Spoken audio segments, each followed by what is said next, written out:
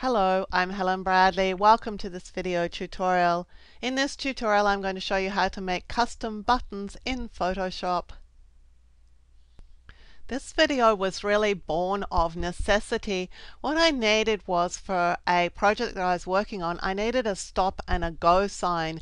And all I could find on the stock websites that I liked and that really worked for me was the stop sign. I couldn't find a matching go sign. So instead of buying just the stop button and then going ahead and reworking it to make my go button, I decided I'd make it from scratch. So here's my stop button and we're going to make it and I'll show you how to turn it into a go button so that you can do that as well.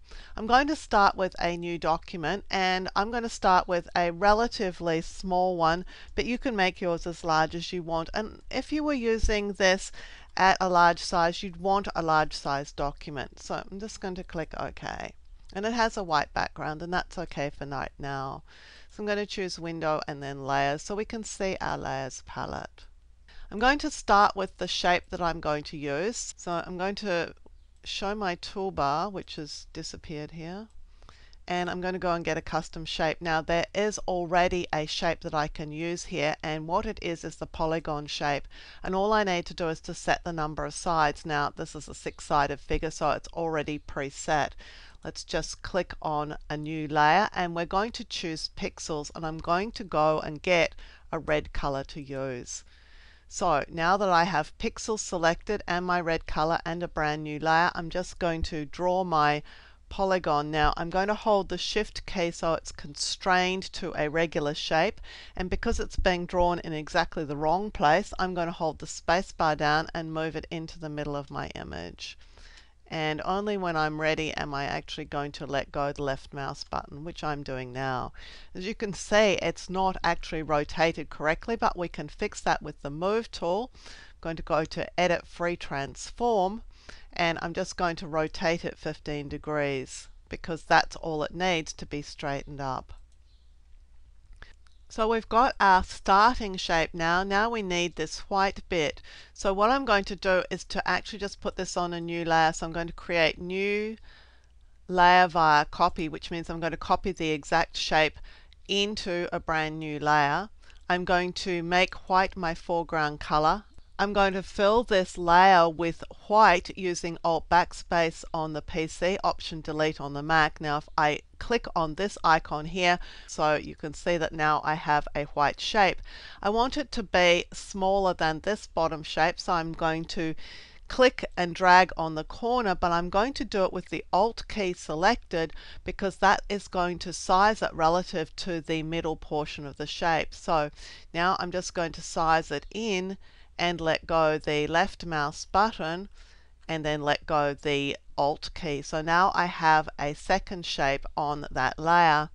So again, once I've created this layer, I'm going to choose Layer, New Layer via Copy, and this time we're going back to our red color. So I have that selected. I'm going to click here to lock these pixels Alt Backspace Option Delete to fill it with that color.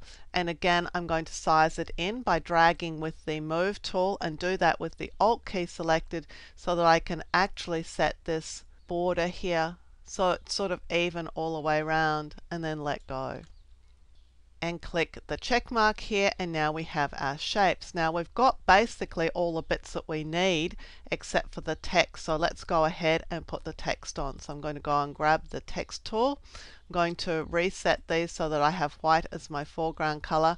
Just going to go and find a font to use. I'm really not that fussed about what font we use because you can go ahead and find a really good font yourself. I think I might just use Calibri no nowhere near big enough in actual fact so let's just go in here and let's make it 200 mm, not nearly big enough even still. 350 pixels is pretty good. And let's just move that down into position.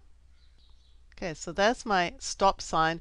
What it's missing right now is this sort of look that gives it a sort of dimension now the dimension that we're going to give our shape is going to be created using style. So I'm going to click here and add a style and I'm going to choose bevel and emboss.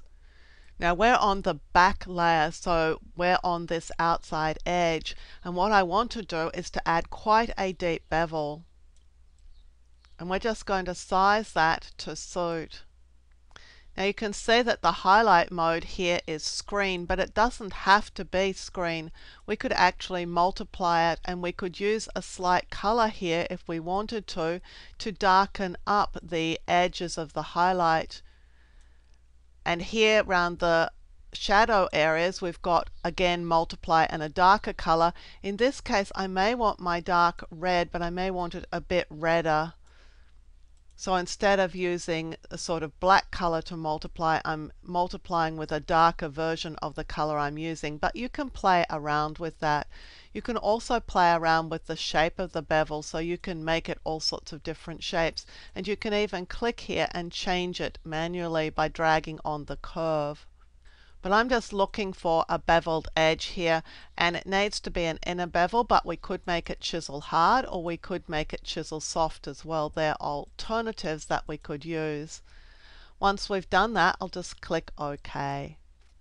So that's taken care of the outside edge and we've got the white mark. All we need to do is to deal with the middle. So again I'm going to select the middle and I'm going to again add a slight bevel to it. So let's go to bevel and emboss.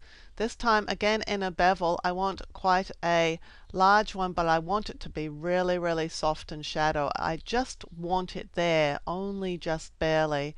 So I'm going to call that good for that inner bevel right now. If you have a look at this particular stop sign you can see that it's got a line through it and now we're going to create that effect again here in Photoshop. There are any number of ways that you can create that sort of custom shape, but I'm going to show you just one way that you can do it. I'm going to start with a new layer and I'm going to drag a rectangle on it. And this rectangle is going to be over the top of my stop sign. And I'm going to go and grab the same colors as I've used in my stop sign, this red, and I'm going to choose a slightly darker version of the red. And let's make this a slightly lighter version of it. But again, all in the same color palette. Now that I have these colors, I'm going to fill this shape with a gradient made from those colors. And the gradient I want is this foreground to background gradient. So I'm going to select it and I'm going to drag it into here. And I want a linear gradient and I want it the other way around because I want the lightness at the top so I'm going to reverse it. So once I've got my linear gradient in place I'm going to call that good and I'm going to then clip it because what I've got right now is a gradient that's going to give me the beginnings of the effect that I want. The problem is, is it's much bigger than the shape underneath. But if I create a clipping mask, it's all going to work perfectly. So with this layer selected, I'm going to choose Layer, Create Clipping Mask. And you can see that that shape is now clipped to the shape of the layer below. Now I just need to drag down the opacity a bit. Okay, now we want to make that nice shape. So with this layer selected, I'm going to choose Edit and then Transform and then Warp. And now I can warp this shape to the shape that I want. So I'm just going to drag down on this edge. And I'm going to look to make a smooth warp over my image. If I want some more darkness into my image, I can just pull up the darker edge of this rectangle. I don't want to twist these if I can help it. I did in my shape and it didn't end up quite the way I wanted it to look, but here we'll be a bit more careful. So now that I've got my sort of warp look, I'm just going to click the check mark here and that's now in place. And if I want it a little bit differently, I can just drag on this shape and just bring it down or I could rewarp it. But there's the basics of a stop sign and that's all been created now inside Photoshop. So I could save this off as stop. Now to recolor this and make this the go sign, all I need to do is to put in an adjustment layer. So I'll choose Layer, New Adjustment Layer, Hue Saturation and click OK. And this hue saturation adjustment layer is going to affect everything below it. And so all I need to do is to drag around until I find a green for go. And somewhere in here is a pretty good green.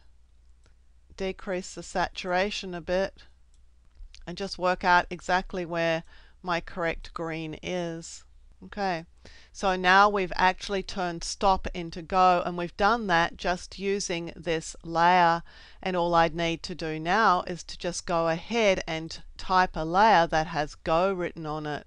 Let's click the text tool, let's make sure we're typing in white, click here and just type go.